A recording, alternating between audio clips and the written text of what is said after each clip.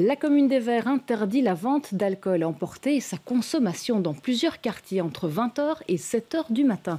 Des mesures prises suite à des nuisances sonores et un sentiment d'insécurité.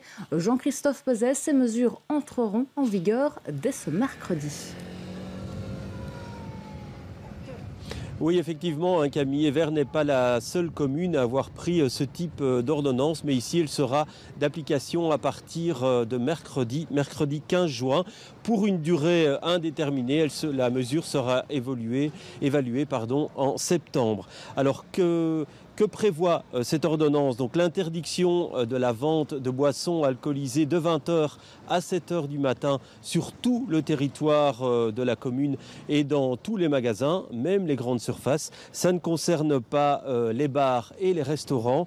Et puis aussi la consommation sera interdite dans l'espace public à certains endroits de la commune, des endroits qui ont posé problème. Il s'agit du quartier Notre-Dame où nous nous trouvons actuellement, la place de la Paix et dans le quartier euh, Padua.